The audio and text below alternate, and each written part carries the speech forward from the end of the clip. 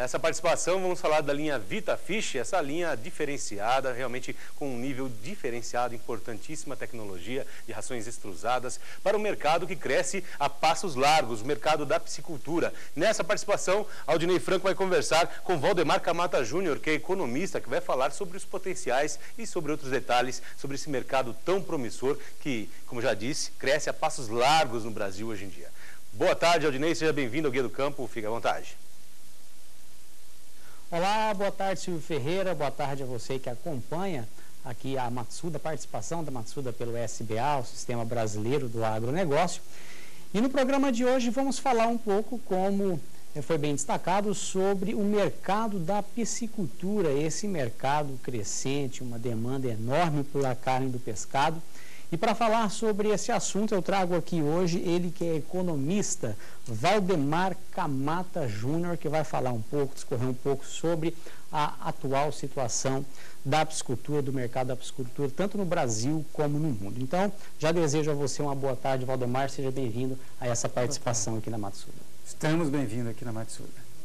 Então, para começar esse nosso bate-papo, Valdemar, qual que é a realidade hoje do mercado da piscicultura, tanto no Brasil como também no mundo. Qual que é esse panorama?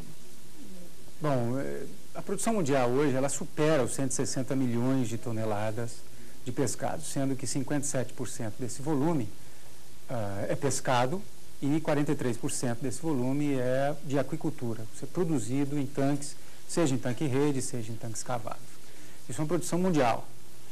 Levando-se em conta, porém, que nos últimos 15 anos a produção a partir da aquicultura cresceu em torno de 200%. E do pescado não chegou a 10%. Portanto, a solução encontrada hoje para abastecer o mercado tem sido a aquicultura por N vantagens sobre a pesca artesanal ou a pesca profissional em alto mar. E quais são essas vantagens? Né? Entre essas N vantagens, você destacou muito bem esse enorme crescimento da aquicultura em relação à pesca. Né? E quais são essas vantagens que levam a agricultura a, a, esse crescimento todo e coloca ela como sendo aí um grande diferencial para suprir essa demanda de, de peixe no mercado.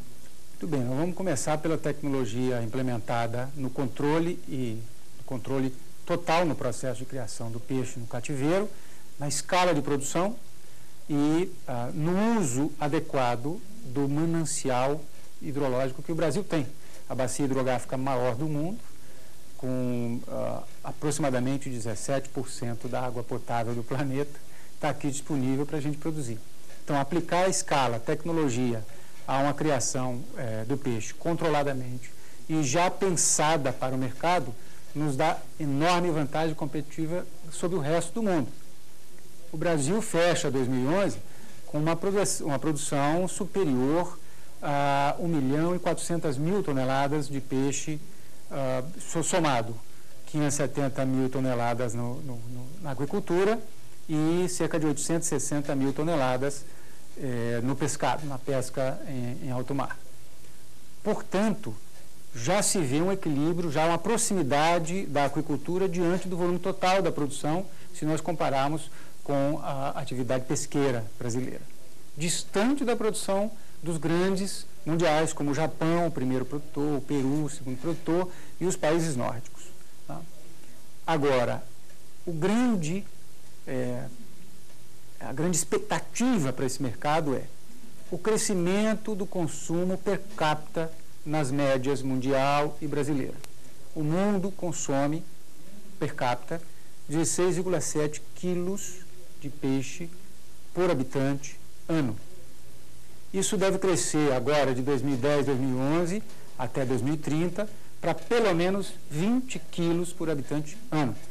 Nós temos 7 bilhões de habitantes no mundo. Se a média crescesse somente sem o crescimento da população mundial, já seriam 14 milhões de toneladas a necessidade de peixe, de peixe a mais na mesa do, da população mundial. O Brasil, não, o Brasil tem que fazer um trabalho muito mais intenso. A nossa média está em 9 quilos por habitante. Bem abaixo. Bem abaixo da média mundial. Então tem muito para crescer esse mercado, o nosso mercado, o mercado brasileiro. E isso vai acontecer, sem dúvida nenhuma, com a atividade em escala, com controle do processo, de tecnologia uh, e de conhecimento técnico aplicado a essa oportunidade que é a expansão do consumo mundial e brasileiro do pescado. Valdemar, e hoje o Brasil ele é autossuficiente na produção de pescado? Ou seja, ele produz tudo aquilo que, que ele demanda? Não. O Brasil não é autossuficiente. O Brasil importa e deve estar fechando a balança do, do peixe para esse ano cerca de 230 a 240 mil toneladas de pescado importado. Não só os exóticos, aquilo que nós não temos no nosso mercado, mas também aquilo que é necessário para o abastecimento nessa demanda. Os maiores consumidores per capita no Brasil vêm da região norte. A região norte do Brasil, em que pese a média nacional está em 9 quilos por habitante, na região norte essa média é de 17,5 kg por habitante, sendo que o estado do Amazonas consome 30 quilos por habitante. Acima da média mundial. Acima da média, bem acima da média mundial. A média mundial deve chegar a 20 quilos por habitante, a média na União Europeia é 22 quilos por habitante, a média em Portugal e França é 40 quilos por habitante. Então você vê que o, Amazonas está com a média próxima dos maiores consumidores da União Europeia em termos de consumo per capita do peixe.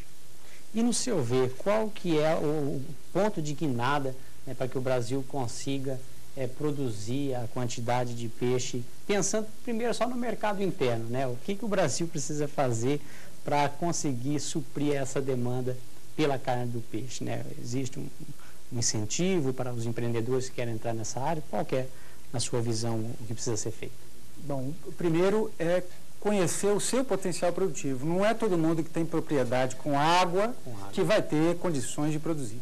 Nós sabemos que a região norte do Brasil é que tem um maior potencial para esse desenvolvimento de peixes como o tambaqui, o pirarucu e outros peixes amazônicos.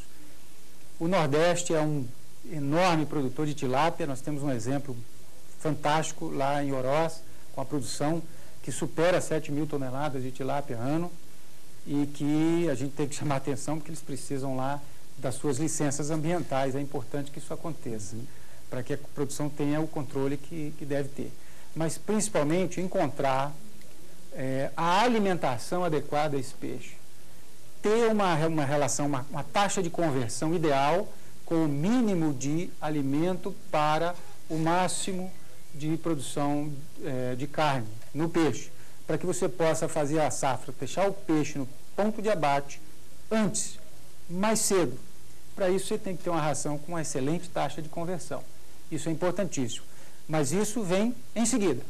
Qual é o seu potencial? A água, o pH, turbidez, temperatura, o microclima, o clima da região e assim sucessivamente, para que você possa ter a melhor espécie para a sua condição e aí oferecer o melhor alimento para aquela espécie.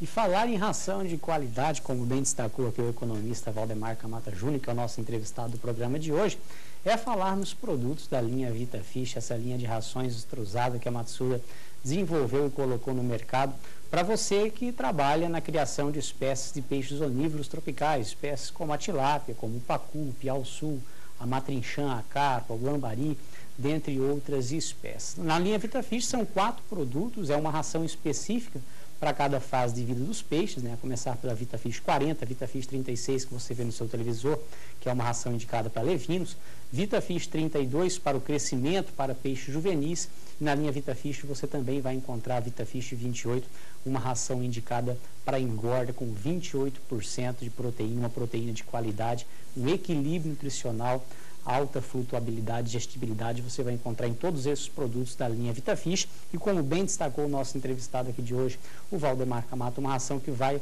levar até a sua piscicultura uma excelente conversão alimentar. Mais informações sobre os produtos da linha VitaFish, sobre os demais produtos comercializados pela Matsuda, você tem o nosso portal na internet, matsuda.com.br. E no programa de hoje, conversando com Valdemar Camata, antes de, começar, antes de continuar a nossa conversa com ele aqui, Vamos conferir uma matéria que fala sobre a qualidade da água, sobre um dos testes utilizados para se monitorar a qualidade da água, um teste chamado disco de seca. Acompanhe. Matsuda, quem usa não muda. Matsuda.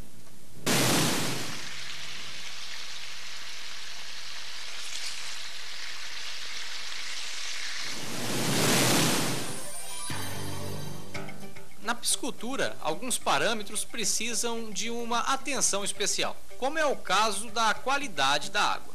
Uma água ideal para o cultivo de peixes onívoros é aquela que contém boa oxigenação, pH, dureza e alcalinidade controlada, que não possua plantas aquáticas e que possua fitoplânctons. Fitoplânctons são organismos aquáticos microscópicos que deixam a água com uma cor esverdeada. Além disso, a presença de fitoplânctons evita que a luz solar atinja o fundo do tanque, impedindo assim o aparecimento de plantas aquáticas. O agrônomo e doutor em aquicultura Fernando Kubica explica qual teste precisa ser realizado na água para controlar a quantidade de fitoplâncton. Fernando nos falou qual a profundidade ideal que o disco deve permanecer. O disco de SEC ele serve para medir a transparência da água e ele indica a abundância de plâncton presente na água. O plâncton são organismos microscópicos, são as algas, zooplânctons, que estão presentes na água e conferem uma cor à água.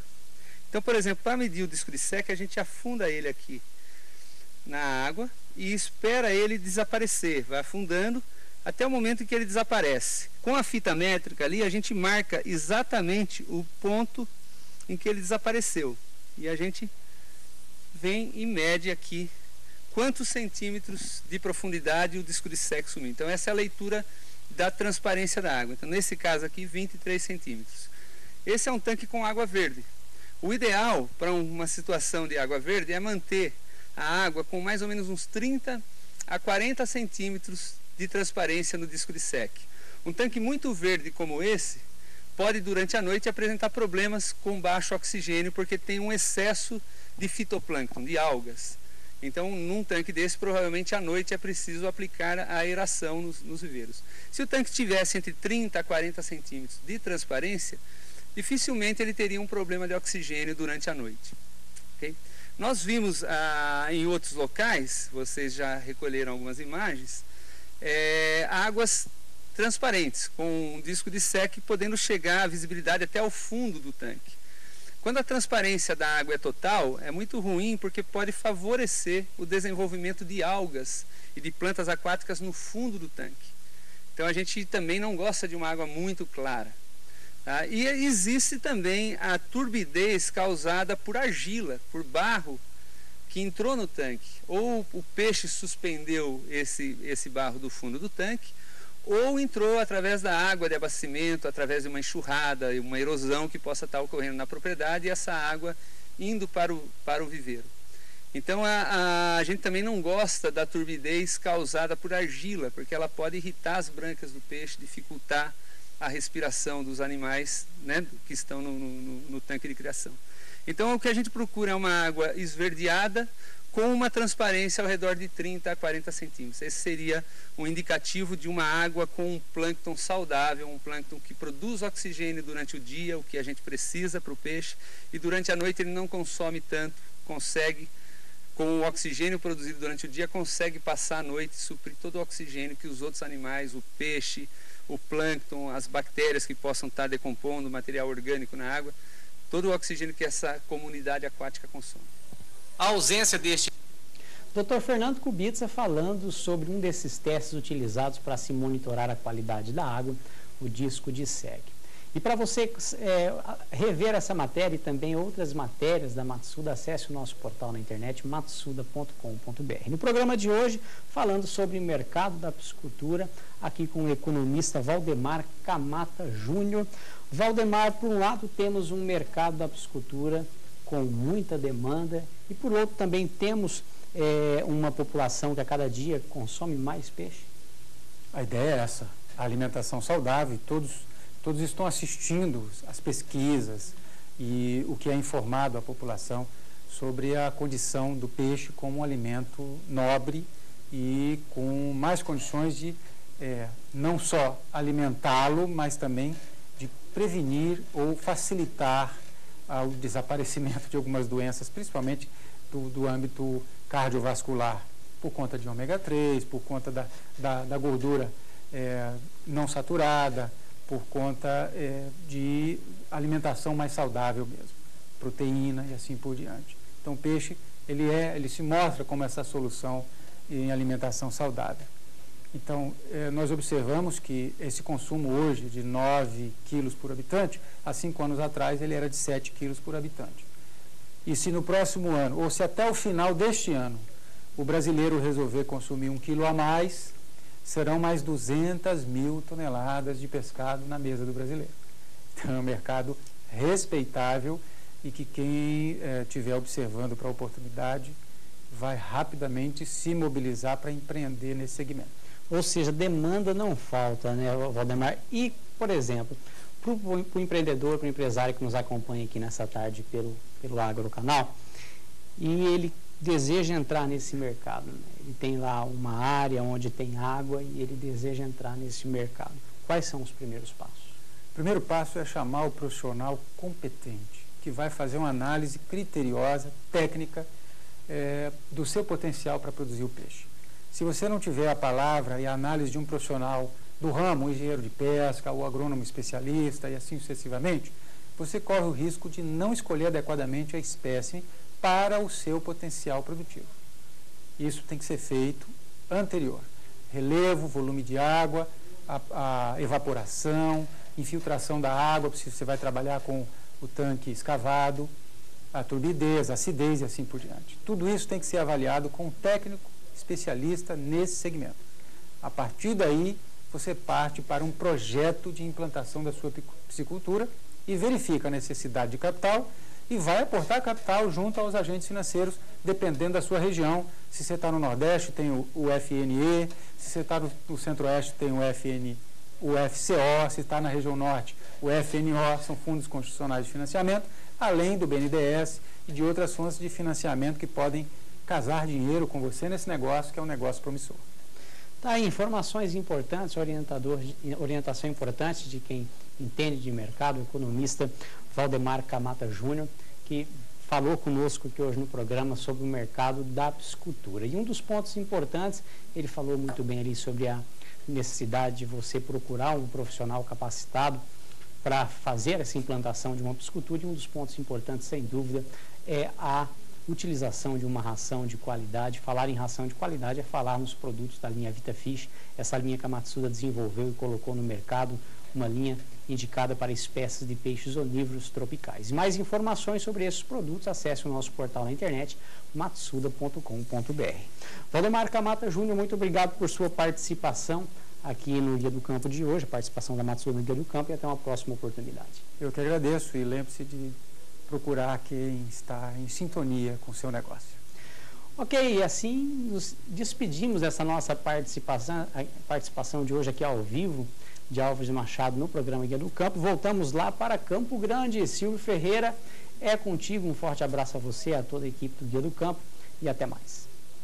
Obrigado, Odinei Franco. Obrigado, obrigado também ao economista Valdemar Camata Júnior, que nos deu essas informações importantes. Estou certo que os empreendedores no Brasil sem dúvida nenhuma, vão visualizar, vão vislumbrar nessa, nessa área uma grande oportunidade de negócio. A Matsuda é sempre parceira do crescimento econômico brasileiro, trazendo sempre informações que são fundamentais para quem quer investir em áreas que prometem ser muito, muito rentáveis, muito importantes para fomentar a economia desse país. Um grande abraço para os dois, muito obrigado pelas informações. E eu vou repetir aqui os dados da Matsuda, para que você entre em contato com essa empresa, que, como eu disse, é parceira do crescimento econômico desse país, assim como o SBA, o Sistema Brasileiro do Agronegócio. Aqui no Guia do Campo, sempre trazendo informações importantes, produtos indispensáveis para o seu sucesso e também dicas muito importantes de oportunidades de negócio, como é o mercado brasileiro da piscicultura aquicultura de um modo geral, você sabe que a economia cresce a passos largos nessa área. Então, aproveite, você quer investir, procure informações, é, orientação adequada e já sabe que